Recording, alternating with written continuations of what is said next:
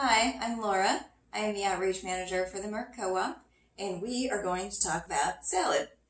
So some folks maybe already enjoy salad as a meal, but for others, the idea of a salad may not inspire enthusiasm. And that was definitely true for me for a long time. But with a few helpful tips, I have found there really isn't any meal that is more refreshing, budget conscious, healthy, um, and pretty quick to come together. So I'm going to give those tips to you, and hopefully for those of you who already like salad, you learned something new. And for those of you who are maybe less than enthusiastic about the idea of salad, you are inspired to try something different. So first, we'll talk about the components of your salad. And the first thing that comes to mind is your greens. So the recipe I have for you today is an autumn salad. So we're using kale, cabbage, and Brussels sprouts, but the possibilities for that base of greens is pretty endless. Something mild or sweet, like a butter crunch lettuce or romaine or iceberg. There's something smooth like spinach or kind of a frisee, which gives a different texture. There's sturdier greens, there's more delicate greens. So the important thing is to just choose something that you enjoy. And then that helps you kind of build the other things you're going to add to your salad.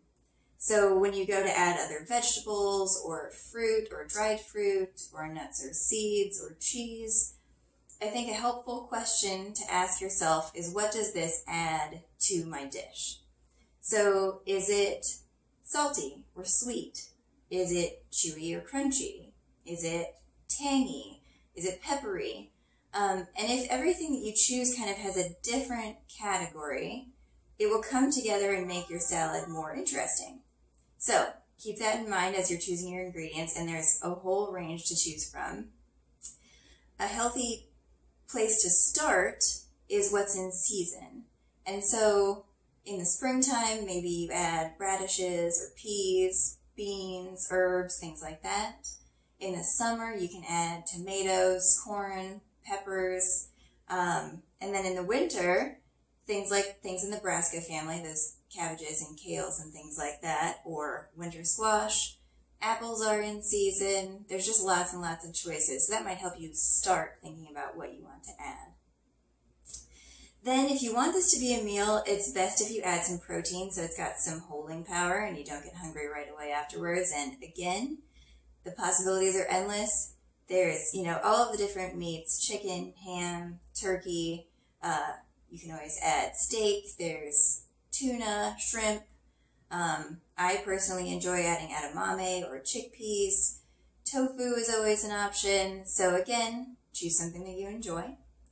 And adding some sort of grain also kind of will help fill you up and keep you full. Um, something like quinoa is quick to come together. It has higher amount of protein than the average grain, so that's a good option. But barley or farro has lots of chew, and that's satisfying. Um, you could always add rice noodles. Again, whatever things that you sort of like. So you've got those components. Then you'll need your dressing, and this is probably the part that most people get excited about.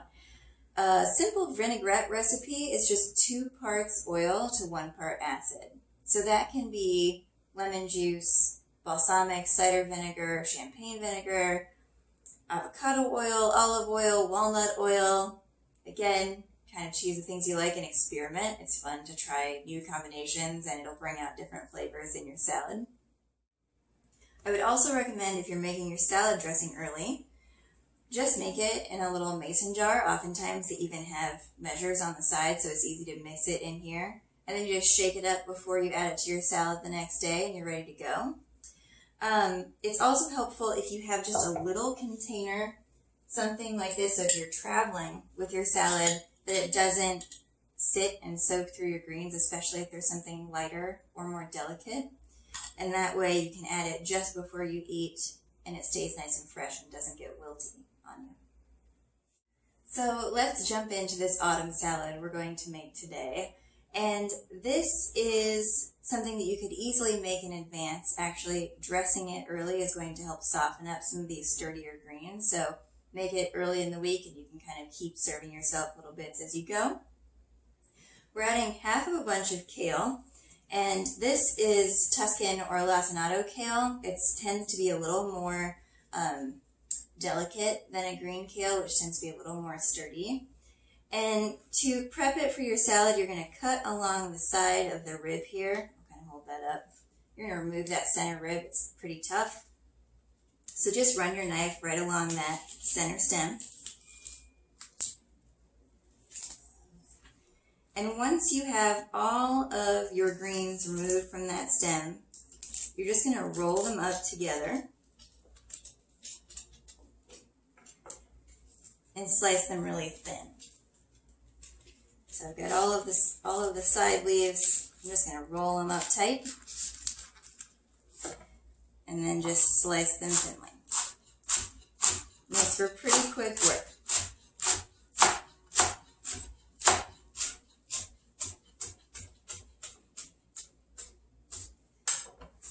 Add that to your big salad bowl.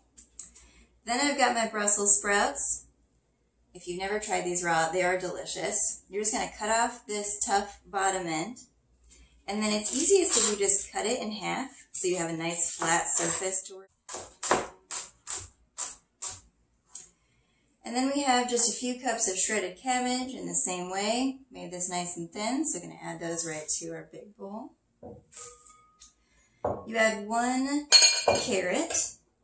And in a salad like this, I actually just like to use my vegetable peeler. Makes them a little more substantial than just grating them into strips. And that way they're about the same size as my cabbage and my kale. And it blends in really nice. So the carrot adds a little bit of crunch, but also a little bit of sweetness and color. The appearance of your salad can be really important. It makes it more exciting to eat if it looks beautiful.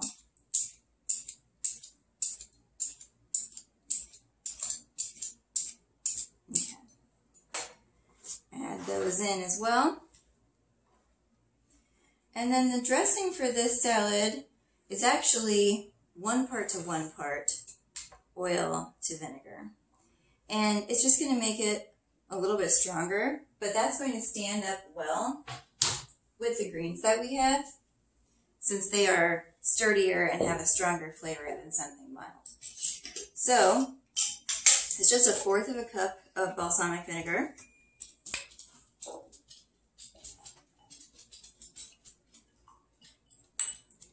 and a fourth of a cup of olive oil. And then we're going to add two tablespoons of maple syrup.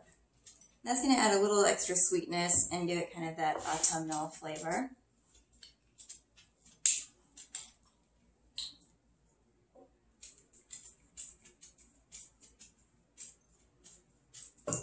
And then we're going to whisk that together or just shake it in your jar.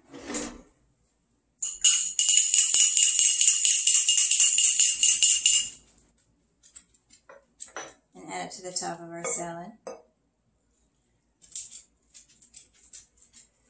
I tend to leave the salt and pepper for the end to just add it for taste. This recipe, I believe, has half a teaspoon of both salt and pepper. And it works well to just toss it with your hands. It gives you a sense of when everything's coated.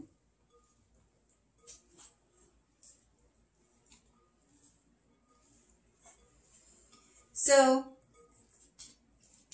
there's also just, I believe, two-thirds of a cup of cranberries. I'm going to be using dried cherries because that's what I had on hand. I'm also going to add some chopped walnuts because I like that little bit of extra crunch and the walnuts are just a little bit bitter, which I think are going to add something extra and autumnal to this salad.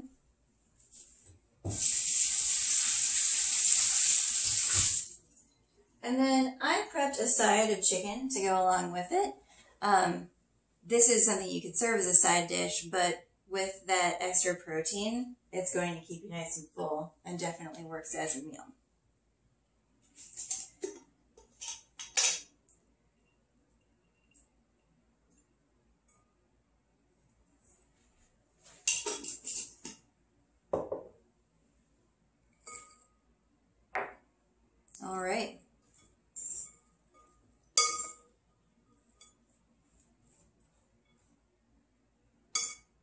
There we have it. And again, this is something you could make early, and as it sits, it's only going to absorb those flavors and even soften a little bit our kale and our cabbage.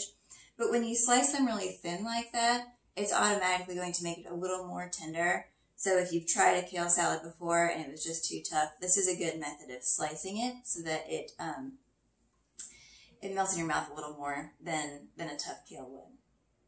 So I have a couple of other recipes that I included on our post on the website. Um, one is for kind of a Dijon dressing. Another one um, has uh, peanut dressing, but you could use any sort of nut butter. And again, those are kind of ideas to get you started thinking about what you might like and what your personal taste is and all the things that you could add from there. Well, thank you very much. Check out those recipes and come see us at the co-op.